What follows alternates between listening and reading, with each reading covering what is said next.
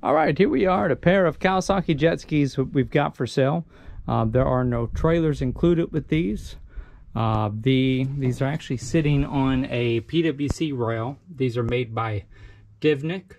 Um, this is attached here to this uh, houseboat. The advantage to these PWC rails is that when they're not in use, you can actually stand that rail uh, straight up so that it does not occupy space on your swim deck. And I'm pointing these out to you because those um, could be uh, purchased in addition to the jet skis. So if you've got a houseboat without any form of a PWC uh, rail or ramp for um, for personal watercraft, um, these uh, again these PWC rails could be available as a as an additional purchase. So, uh, but the jet skis here, um, these are not necessarily going to be packaged together. Um, these will uh, be listed individually.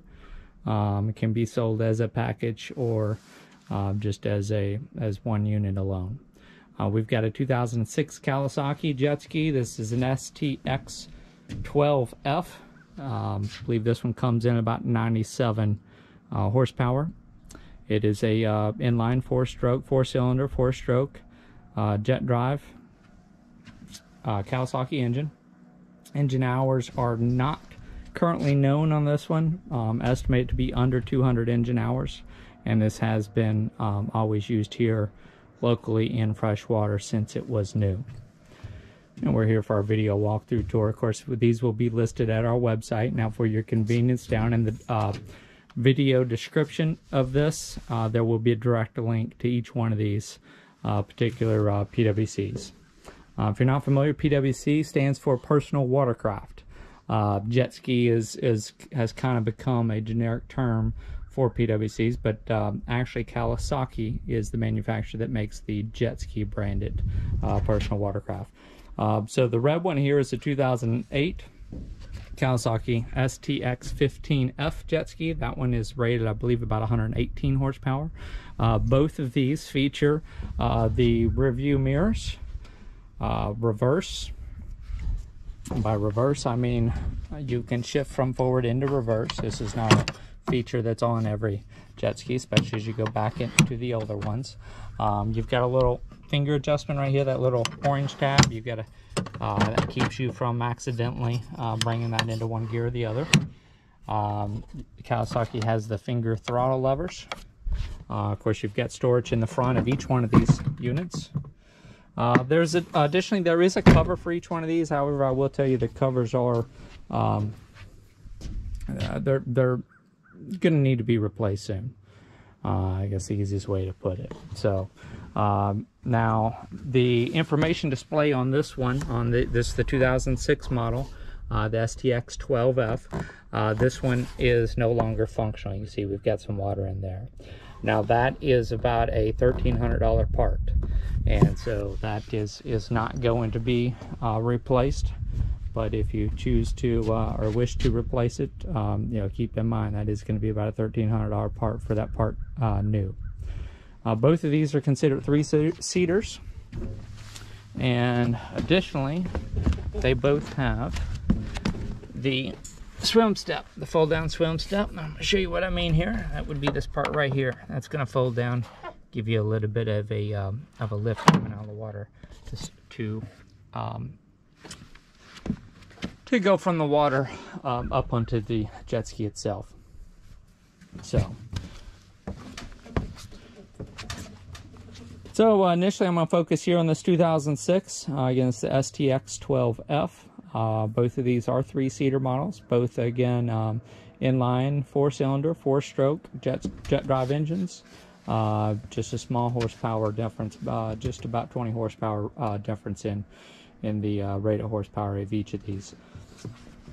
Let me start by, let me go ahead and pull off the rear seat um, have to pull the rear seat in order to show you um, the engine. And bear with me here is might yeah might need a little bit of both of my hands to complete that task. Um, so we've got some storage underneath that uh, the back seat where your uh, third passenger is intended to uh, to ride. We got a small little tool kit that's going to snap onto the other side of that seat. Uh, we do have a little bit of wear in this seat cushion right here foam, and then raise this off as well. So that's where your um, your battery is mounted, and this would be for a fire extinguisher. Currently, there is not one in this uh, jet ski. And then here's that inline four cylinder. Uh, again, this one's rated, I believe, about 97 horsepower, but it's an inline four cylinder, four stroke jet drive engine.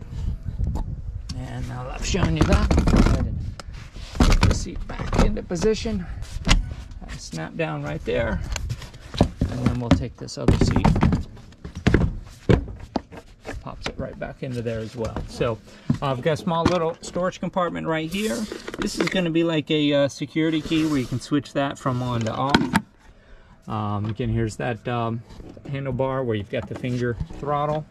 There's your start and stop right here. Your little safety lanyard it's going to fasten right there and then be attached to your life vest so that the unit shuts off should you um, should you happen to uh,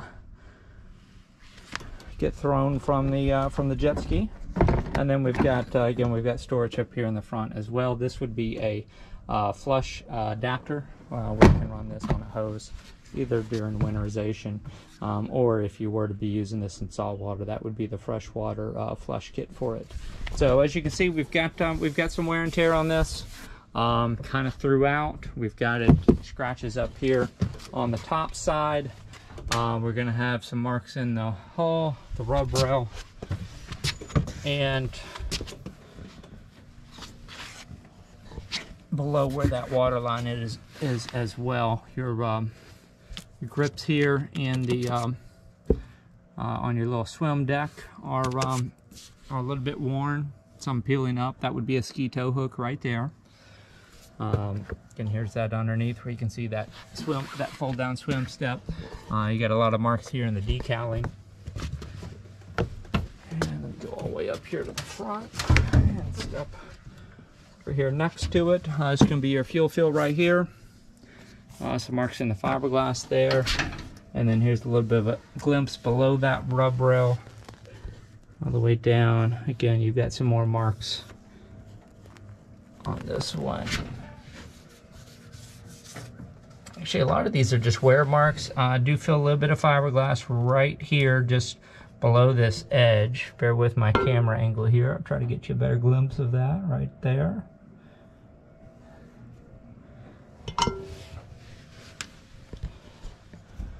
And let me come right back around to the other side where we started.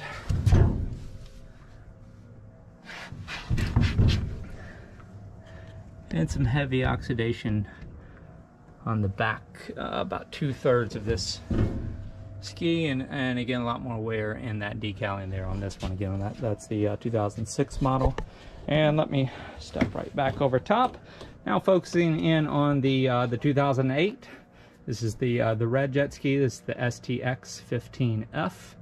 Uh, and again, we'll have a direct link to the listing page for this one uh, down in the video description. That's going to take you over to our website, which is at yournewboat.com. That's where you're going to have the, uh, the, current status of this one, um, asking price, all of our contact information all right there. We do not monitor YouTube comment page, so we do like to remind you um, if you do have any questions about this one or want to submit an offer or anything like that, uh, you will need to use that link down the video description to, uh, to get over to our website. Uh, if you're having trouble finding that link, our website is just simply yournewboat.com. And um, if you want to use a little shortcut, you can go to yournewpwc.com and that will take you uh, directly to the listing page for all of the personal watercrafts that we have for sale. Again, PWC stands for personal watercraft. So you'll hear us use that um, quite a bit anytime we're talking about any of these um, jet skis. Wave Runners, the uh, another um, name brand, but again, Kawasaki is the one that uh, that owns the jet ski name rights. So again, here on this uh, 2008, we, we've got a lot of wear above the rub rail. And we do have a newer seat. This is a, uh, a newer seat right there uh, for that main uh, seat cushion. And let me go ahead and step on over here. This one here, again, uh, we've also got ski tow hook right here, um, that fold down swim step. We do have some wear in this uh, rub rail back here on the back portion of this. And I'll go ahead and do the same thing. I'll start by pulling uh, this seat cushion off here. Just barely cannot be done one-handed. Um, I've also got the little toolkit up, up here on the underside of that seat. Um, here's your little storage compartment. That would be where your fire extinguisher needs to go. Fire extinguishers are not in this one. They should be, but they're not. Um, and then of course we've got the battery here. And again, this is uh, this aftermarket seat cushion right here. If you uh, wish to replace um, that other seat, a lot of times it's just as easy to do one of these aftermarket seats um, or seat skins, and, and you can do that yourself. Um, all right, so here's our battery here for this one. It's a inline four cylinder, four stroke. Uh, this one is rated, I believe, about 118 um, rated horsepower. This one has 173 engine hours showing on it. And this one does have the uh, data display. It's operational on this one. Uh, now the battery is disconnected right now, uh, but you're going to have a fuel gauge up here, um, a, a, speedometer here, and then um, you can do a trip timer, uh, time of day clock, or, or, your engine hours can do, be displayed right here. I've also got the finger throttle. Uh, here's your start, your stop, and where your lanyard's going to be attached. You've got the same little kind of security key right there where you can disable this particular unit. Um, and then the same uh, shift mechanism right here uh, to go from uh, forward into reverse gear. What that does is that's going to drop a flap um, down below that jet pump. And then also you've got the two rear view mirrors on this one and the same storage compartment up here in the front of this one. Got that integrated um, kind of little storage tray right there. There's your flush adapter right there, your fuel fill right there as well.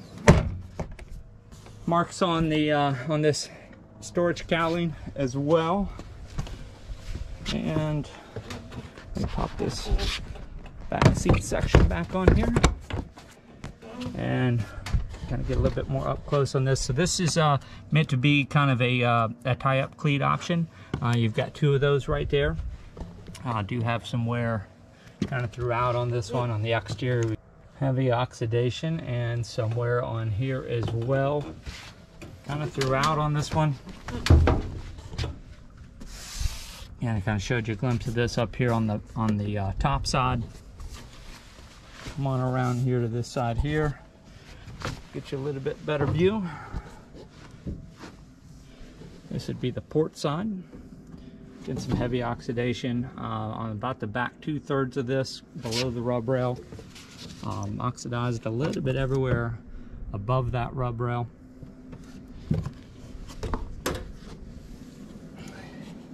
If you look down here below the water line, you're going to have a lot of those marks in the the hull as well.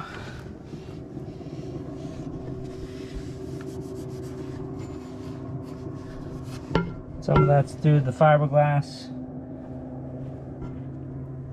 Some of it's almost just like the paint has uh, has has come off. Uh, but again, there is there is plenty of wear and tear on this one. Um, that is why we put out these video tours to try to give you a truest possible accurate representation of all of our listings. So again, uh, these can be purchased as a package or as individually, and the uh, the P, P, excuse me the PWC rails that they are currently resting on um, can be attached to your houseboat. Those um, could potentially be purchased in addition uh, to the jet skis as well. So again, this is the 2008 Kawasaki Jet Ski STX 15F, 118 rated horsepower uh, with 173 engine hours. And the 2006 Kawasaki STX 12F. Um, this that's the one that does need that uh, data uh, or dash display replaced at a cost of about $1,300. And so because of that, the, uh, the engine hours are not displaying at the moment. Perhaps a Kawasaki dealer can verify those engine hours hooking up to their computer. Um, estimated under 200 hours. Again, the 2008 has 173, and these uh, essentially have been used here locally on the beautiful freshwaters of Norris Lake, Tennessee since they were new. And that's going to do it for these. Again, use that link down in the video description to get directly to our website for their full list of specifications, current asking price, and of course all of our contact information. You can reach out to us by phone, by text, or by email. But again, we do not monitor the YouTube comment page. So if you do have um, any questions, want to come see these in person, uh, submit an offer, or anything like that, be sure you follow that direct link uh, down in the video description to get a listing page for each of these or go to yournewpwc.com. You'll be able to find these rather easily uh, there. That's going to take you, to, again, just to all the personal watercrafts that we have for sale at our website. Uh, website, uh, our main website is yournewboat.com, but yournewpwc.com is a shortcut to just view the personal watercrafts we have for sale.